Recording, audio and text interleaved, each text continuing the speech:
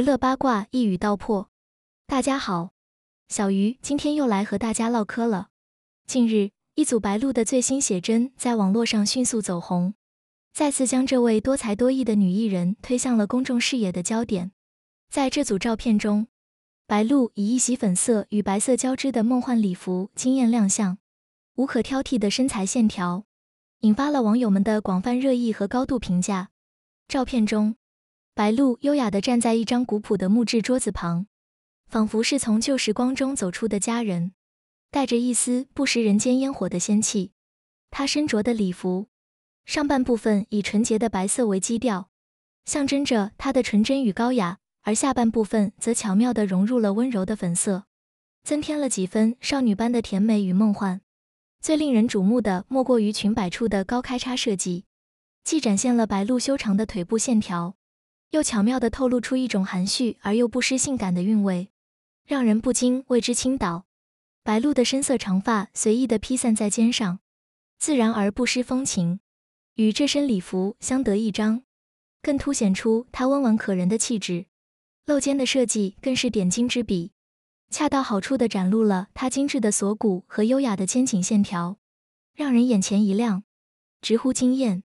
自出道以来，白鹿凭借其出色的演技和独特的个人魅力，在影视圈和综艺界都取得了不俗的成绩。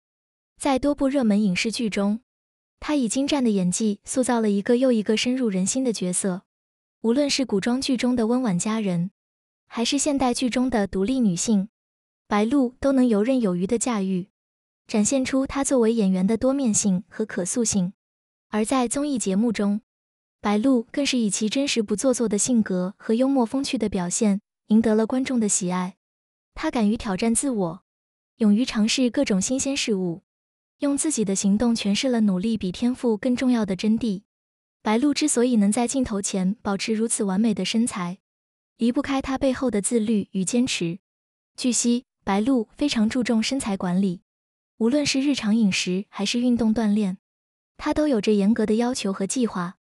同时，他经常分享自己的健身心得和饮食食谱，鼓励粉丝们一起追求健康的生活方式。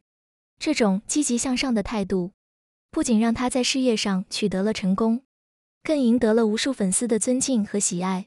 近期，白鹿的公开活动也是接连不断，从时尚活动到品牌代言，再到各类颁奖典礼，他都以最佳的状态出现在公众面前。每一次亮相都能引发不小的轰动，她的时尚品味和穿搭风格也备受瞩目，成为了许多年轻女性学习的榜样。随着白鹿的人气不断攀升，她的个人生活也受到了越来越多的关注，尤其是在感情方面。白鹿的单身状态更是引发了网友们的热议和期待，许多粉丝纷纷表示，希望白鹿能够早日找到属于自己的幸福归宿，同时也表示会一如既往的支持他的演艺事业和个人选择。对于白鹿而言，无论是事业上的成功，还是个人生活的幸福，都是她努力追求和珍惜的。相信在未来的日子里。他会继续以更加饱满的热情和更加优秀的作品回馈粉丝们的厚爱和支持，同时也期待着他能够在人生的每一个阶段都绽放出属于自己的光彩和魅力。日前，演员白鹿上线首张数字音乐专辑，获得了粉丝的高度关注。九月十日，白鹿新歌首唱会官宣，白鹿将在九月二十二日生日当天，于上海船厂剧院携自己首张音乐专辑与粉丝们见面。并公开了演唱会门票的获取方式。演唱会的相关规则引发粉丝不满，被不少网友吐槽首唱会变成韭菜会。九月十一日，演唱会的主办方欢娱影视致歉，宣布调整门票获取规则。早前，白鹿上线个人音乐专辑时，就曾因定价被一些网友吐槽。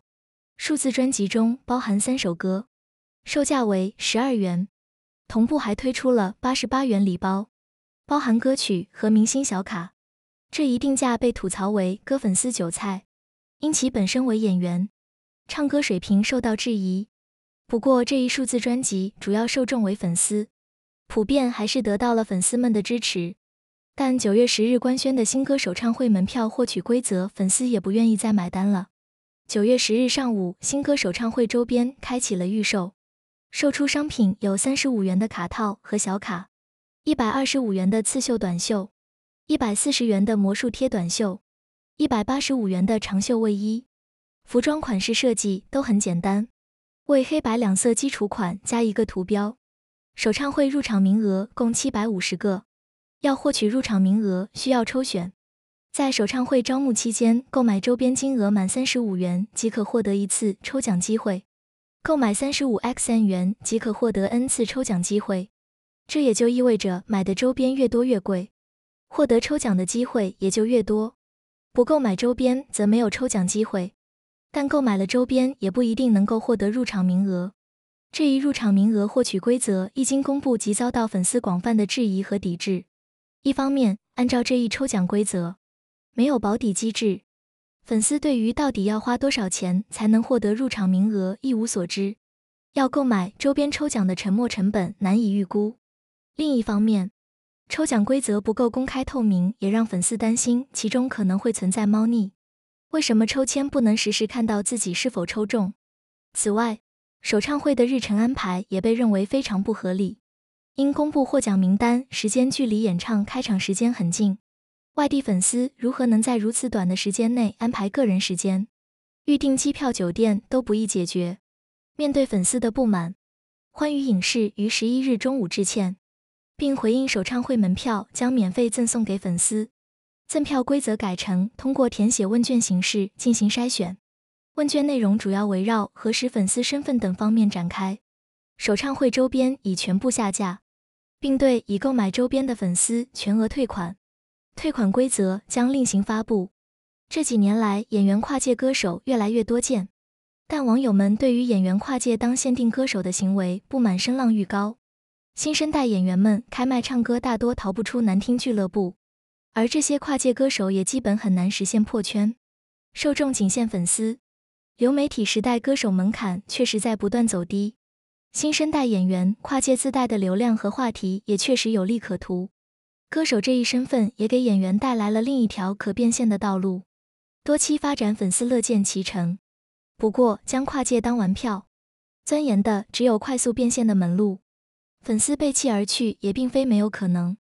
当然，不管演唱会结果如何，都要祝白鹿生日快乐，愿她也早日拥有一场浪漫的婚礼，与一个爱她、懂她、疼她、珍惜她，并陪伴她走过人生低谷。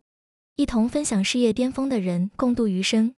白鹿曾经提到，如果不从事演艺事业，她早就结婚了。她会选择和爱的人一起旅行，还会学习一门乐器。这表明白鹿是一个很传统的女性。还记得白鹿二十九岁生日那天，她的老板于震也送上了祝福。同时，于震也表示白鹿是一位出色的演员，而他自己则认为自己并非称职的老板。这些年来，白鹿通过自己的努力开创出一片天地。尽管是由于于震的引荐进入娱乐圈，白鹿一直以来都是一位非常善良、忠诚的人。他一直感恩于震对他的栽培和提携。除了于震，娱乐圈中的其他艺人并没有送上生日祝福。除了一个男演员，这个男演员就是李晨。在其他跑男成员中，杨颖、周深。郑恺、沙溢等都没有送上祝福，只有李晨送上了生日祝福，并且还特意准备了生日礼物。在节目中，杨颖和白鹿被大家称为“杨枝甘露”。本以为他们是好朋友，但意外的是，杨颖并没有送上祝福。然而，还有另一个男演员以间接的方式送上了祝福，并配以一首富有深意的背景音乐，他就是罗云熙。罗云熙只唱了歌词的最后一句。总会有个地方等待爱飞翔，这是否是巧合呢？罗云熙用歌词表达了心意，而罗云熙和白鹿曾经合作出演《半是蜜糖半是伤》和《长月烬明》，在戏中他们的情侣关系非常甜蜜，戏外也有很默契。